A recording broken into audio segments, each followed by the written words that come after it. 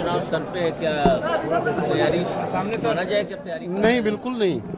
ये डिसीज़न करना पार्टी का काम है। हमारा नहीं हम लोग पार्टी के सैनिक हैं और पार्टी के साथ काम करेंगे और पूरी निष्ठा से काम करेंगे। माहौल तो बना हुआ है।